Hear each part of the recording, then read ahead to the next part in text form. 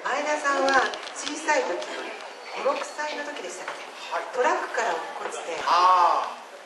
こう朦朧とした時に声が聞こえてきたんですよね、えー、夢夢なんですけど、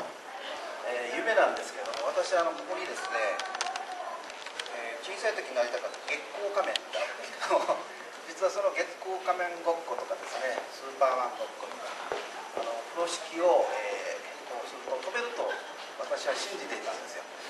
でトラックの時代からそのまま飛んだらですねそのまま落ちましてやっぱり、えちょっと気を失って友達がちょっとあの木陰で休ませてくれたんですね、えその時に、えー、まあね、夢ですからね。この夢の中で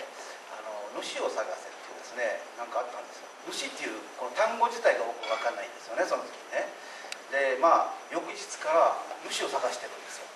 要するにこの仲間がいて仲間に主を探すんだっつってねあの亡霊みんな主って探すんですけどもこの意味がよくわからないとなんか23日やる覚えがあるっていう感じですかね。それが50歳の過ぎてその意味が分かってきたんですよね、うん、どういうことだったんですか？えー、そうですね、えー、いろいろとこう、まあ、これから、えー、ちょっと歌う歌にも関係すると思うんですけどもあのやっぱ生まれてきてですねあのいろいろなことがやっぱりあるじゃないですか。その時に実は50歳の前後で両親も、えー、2人こう相次いでいくんですね。あちょっと待ってください。私はラジオの番組の中でですね本当に泣いたり笑ったりしながらいつも番組させていただいてるんですけれどもで、えっと、ちょうどあの80 83でうちの、えー、父82でうちの母が行きましてその時に私50歳なりそうな時ですかね。でこの三振も実はその頃から弾き始めたんですね。で、えー、これまでまさか三振をすると思わなかったんですけども、えー、これから歌う歌に多分この中に、えー、私が、えまあ説明するにはこの歌にあるかなということでまたその歌をですね50歳で本当に初めてあの知ってはいたんですけどもその歌の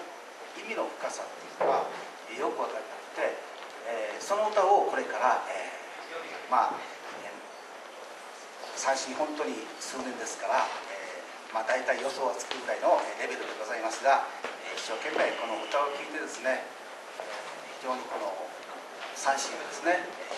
きたいなと思っております、えー、すみませんコマーシャルみたいなのですけども今あのコム三振広めたいってですねインターネットを使って動画を撮ってですね今動画撮ってもらってるんですけども、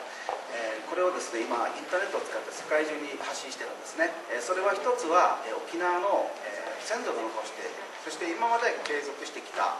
え、三振というものがですね非常に素晴らしいということで、え、文化として、え、残したいという一つの私の中に思いがあります、えそれで、えどんどんどんどん広めていこうということで去年から発足して今、えインターネットの世界で、え150人いらっしゃる